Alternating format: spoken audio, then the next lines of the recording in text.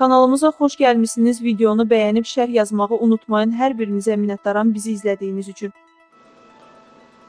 Erməni mənbələr sülhməramlıların Laçın yolunda aksiyanın başlamasından sonra Qarabağda qalan iki erməni kriminal avtoriteti gizli yolla Ermənistana keçirdiyini iddia edir.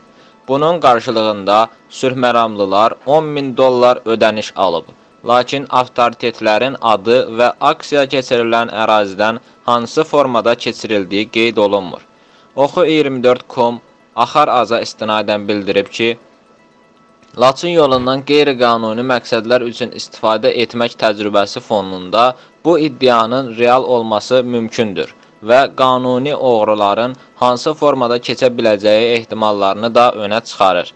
Sülhməramlı hərbiçilərin formasında aksiya keçirilən ərazidən keçə bilərlər. Təcili tibbi yardım avtomobilində ağır xəstə adı ilə çıxa bilərlər. Sülhməramlıların yük avtomobillərində gizlənərək gedə bilərlər.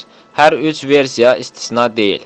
Hərçənd ağır xəstə adı ilə çıxarılmaları daha çox mümkün görünür.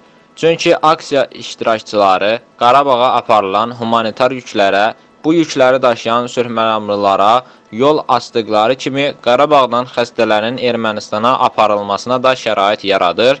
Xüsusilə Qarabağdan ağır xəstə aparmaq adı ilə keçən təcili tibbi yardım avtomobillərində yoxlamalar aparılmır.